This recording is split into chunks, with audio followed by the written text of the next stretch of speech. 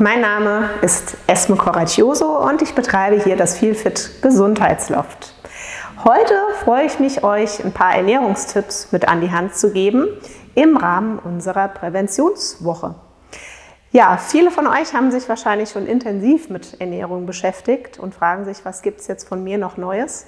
Ich möchte euch so ein bisschen berichten von den Erfahrungen, die wir hier im Gesundheitsstudio jeden Tag mit ganz unterschiedlichen Menschen machen. Und ähm, da ist auch schon mein erster Tipp. Ich finde es immer ganz wichtig, schau du doch nach dir. Schau nicht nach rechts, schau nicht nach links, schau auf dich, schau in dich hinein und überlege, welche Ernährung passt denn zu dir? Es gibt ja viele verschiedene Ernährungsmöglichkeiten, ähm, ob das das Intervallfasten ist, ob du sagst, ich möchte mich vegan ernähren, ich möchte mich vegetarisch ernähren. Viele verschiedene Möglichkeiten, viele verschiedene Menschen, ganz unterschiedliche Bedürfnisse. Also überlege immer die Tipps, die du von mir bekommst oder auch von anderen Ernährungsberatern, Ernährungswissenschaftlern aus dem Internet, aus Zeitschriften oder wo auch immer her. Überlege immer, passt es zu mir? Und viele Dinge muss man einfach ausprobieren, um dann zu merken, Mensch, das ist ideal, das tut meinem Körper gut, damit fühle ich mich wohl. Und manche Dinge stelle ich fest, hm, das ist jetzt nicht das Richtige für mich. Also höre immer in dich hinein bei allem, was du zum Thema Ernährung oder vielleicht auch zu anderen Themen tust und überlege, ist das für dich das Passende. Das finde ich so schon mal mit den entscheidendsten Tipp, weil diese Ernährung, die soll dich ja möglichst ein Leben lang begleiten. Also du musst was finden, wo du sagst, das tut mir jeden Tag gut, damit fühle ich mich jeden Tag wohl, ähm, damit ähm, schaffe ich es auch vielleicht Erkrankungen oder Lebensmittelunverträglichkeiten gut im Griff zu halten. Und ähm, die geben mir Energie. Ich bin damit nicht müde, sondern ich fühle mich fit in meinem Körper. Also das sind äh, wichtige Themen, die dich immer umtreiben sollten, eher danach zu gucken, als dem neuesten Hype hinterher zu laufen.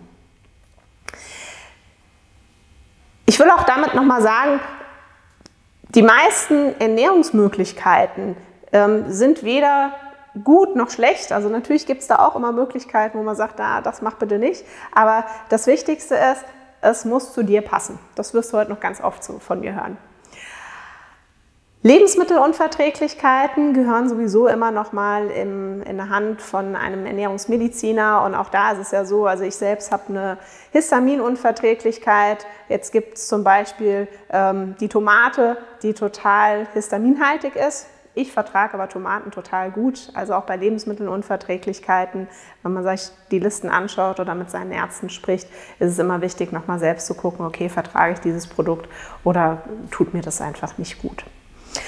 Ähm, dann kommen wir zu dem Thema, wie möchte ich denn essen? Wann möchte ich denn essen? Also ich habe ja gerade schon mal gesagt, Intervallfasten ist so eine Möglichkeit.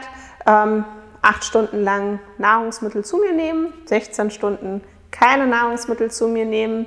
Für mich zum Beispiel, ich habe gemerkt, für mich ist das nichts. Ich brauche über den Tag verteilt lieber kleine Portionen und äh, muss damit gucken, dass mein Blutzuckerspiegel so auf einem Level bleibt. Wenn ich zu viel esse, bin ich unheimlich müde.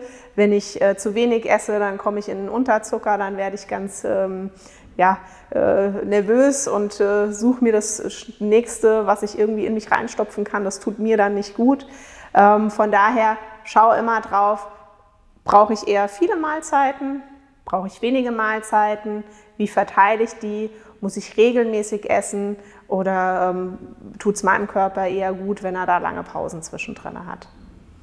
Hör wieder in dein Bauchgefühl rein und guck, was passt für dich am besten. Was ich auch nochmal sagen möchte, ähm, mit, mit, dem, was ich euch heute an die Hand gebe, ist, ähm, macht bitte nicht unbedingt Diäten. Diäten führen meistens dazu, dass wir einen Jojo-Effekt bekommen. Dass ich sage, okay, vier Wochen lang ziehe ich das Ganze durch. Aber äh, meistens sind diese Diätformen sehr kalorienreduziert und nach vier Wochen merke ich, ich falle in mein altes Muster wieder zurück und fange wieder an zu schlemmen oder falle wieder in alte, nicht so gute Gewohnheiten, die meinem Körper nicht gut tun. Und äh, dann, dann habe ich vielleicht äh, drei Kilo abgenommen, aber habe dann nachher wieder fünf Kilo drauf.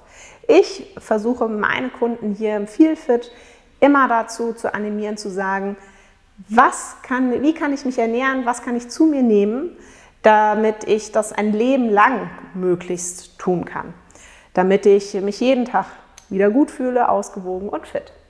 Also such nach den Themen, die du wirklich in dein Leben integrieren kannst, in deine Lebensgewohnheiten, die zu deinen Lebensumständen passen, die vielleicht auch deinen Kindern schmecken oder ähm, deinem Ehemann oder deiner Ehefrau. Also guckt einfach, welche Bedürfnisse habt ihr. Seid ihr vielleicht Schichtarbeiter und müsst da euren Rhythmus immer wieder anpassen. Genau, viele verschiedene Möglichkeiten. Dann, wenn du isst, überlege immer, wie viel du isst. Wie viel brauche ich denn bei so einer Mahlzeit? Ich habe ja eben schon erzählt, ich brauche eher öfters am Tag kleinere Mahlzeiten. Ja, vielleicht sagst du zwei Mahlzeiten am Tag, da muss ich richtig reinhauen, dann geht es mir wunderbar. Wann bist du gesättigt? Wann brauchst du vielleicht zwischendurch noch mal eine kleine Handvoll Nüsse, die dir wieder Energie gibt? Und damit sind wir auch schon bei, der, bei dem Thema, brauchst du einen Plan? Musst du dir vielleicht überlegen am Anfang der Woche oder am Ende der Woche, was gibt es die nächste Woche zu essen? Was muss ich dafür einkaufen? Wie plane ich das ein? Kann ich das für mich alleine tun, weil ich alleine lebe, oder möchte ich meine Familienangehörigen mit ähm, da ins Boot holen? Also bei mir in meiner Familie, wir haben festgestellt, für uns ist es am entspanntesten, wenn wir uns ähm, donnerstags oder freitags zusammensetzen und überlegen, was wollen wir in der nächsten Woche essen und auch gleich besprechen, wer kocht denn da? Mein Mann oder ich oder auch mal das Kind. Ähm, wer ist denn am Montag, Dienstag, Mittwoch verantwortlich für das Thema Essen? Und am Wochenende gibt es meistens irgendwas Besonderes. Damit kann ich auch gleichzeitig ähm, meinen Einkaufszettel besser planen. Ich kaufe vielleicht weniger ein. Also wir haben festgestellt, wir kaufen dadurch nicht mehr so viel ein und schmeißen auch nicht mehr so viel weg. Ähm, und es gibt mir trotzdem die Flexibilität, wenn ich am Dienstag geplant habe, mir eine schöne Hühnchenbrust in die Pfanne zu schmeißen und dazu einen Salat und am Mittwoch gesagt habe, ich habe ein schönes Amulett zum Abendessen und am Dienstag habe ich dazu keine Lust, kann ich auch einfach natürlich die Sachen umdrehen, weil in der Regel habe ich sie ja zu Hause und habe für eine Woche eingekauft. Auch frische Produkte halten sich in der Regel eine Woche lang und ähm, ja, können somit gut verbraucht werden. Oder es gibt ein paar Sachen, die hole ich dann einfach mal frisch zwischendurch hier auf dem Markt in Mainz. Da kriegt man ja wundervolle, leckere Lebensmittel. Also auch da überlege wieder, was ist für dich das Passende? Brauche ich einen Plan? Muss ich mich kontrollieren? Muss ich vielleicht auch ähm, in, einem, in, einem, Tracker, es gibt äh, schöne kostenfreie ähm, Apps, wie zum Beispiel von FDDB ähm, oder MyFitnessPal sind so kostenfreie Apps, in die ich wunderbar eingeben kann, was habe ich denn jetzt gegessen? Und wenn ich sage, hey, ich möchte mich da ein bisschen im Vorfeld kontrollieren, weil ich möchte ein paar Kilo abnehmen, dann kann ich mir auch vorher mal ausrechnen lassen, okay, was ist denn mein Grundumsatz, was ist mein Leistungsumsatz, was brauche ich, was habe ich für einen Tagesbedarf und kann dementsprechend auch schon vor der Mahlzeit gewisse Dinge abwiegen und mir nur das auf den Teller packen, was ich mir über die App vielleicht jetzt auch genehmigen möchte. Und kann darüber schon vermeiden, dass ich nicht jeden Tag mehr zu mir nehme, als dass ich verbrenne. Beobachte dich auch da wieder. Stress, stresst es dich, wenn du das alles noch in eine App eingeben musst?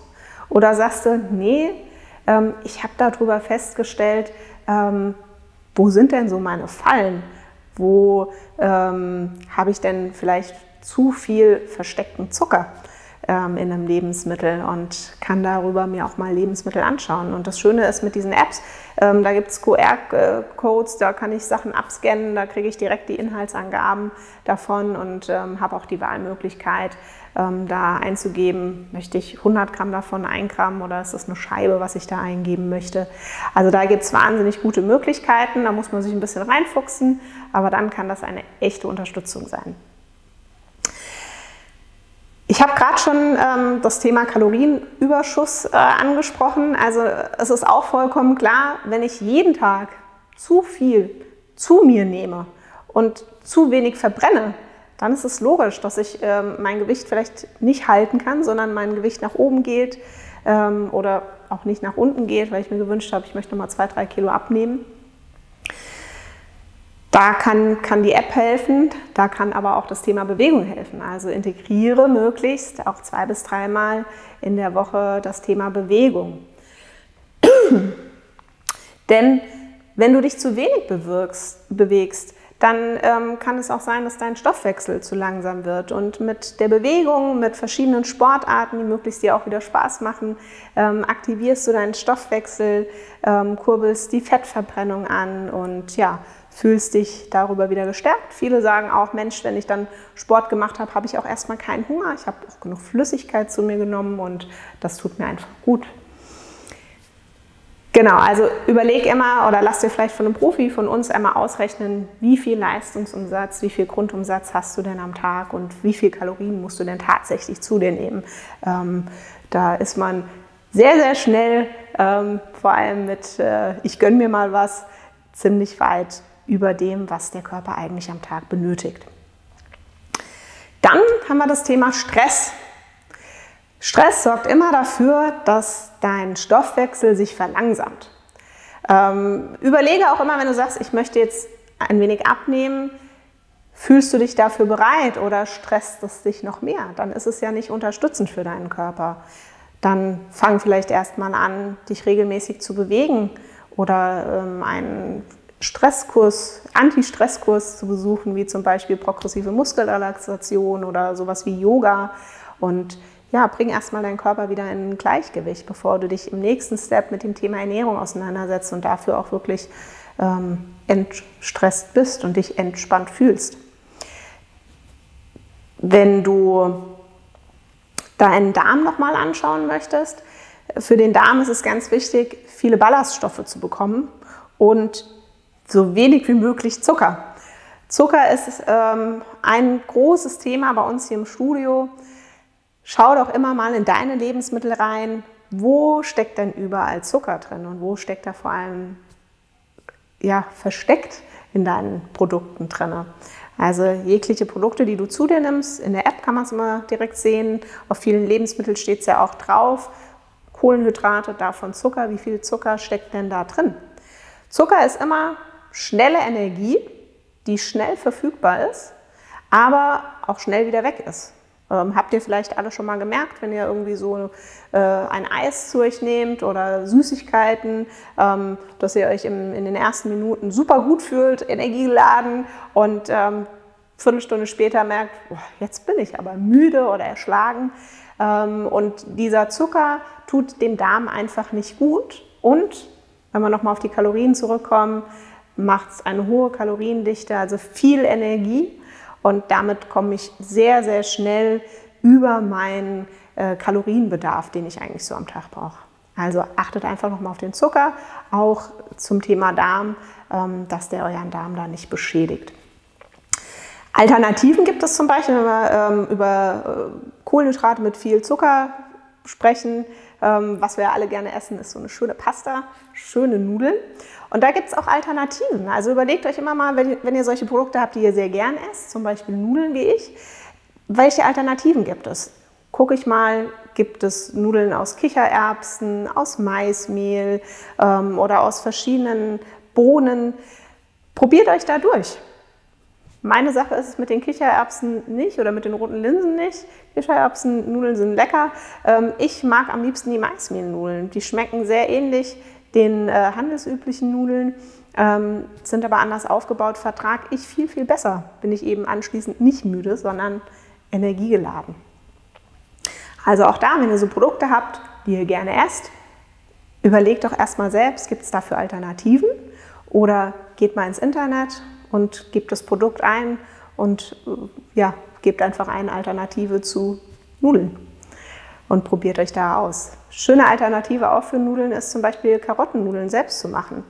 Schönen Spargelschäler, Karotten in die Länge schneiden und die schön andünsten. Schmeckt super lecker, auch mit einer leckeren Soße dazu.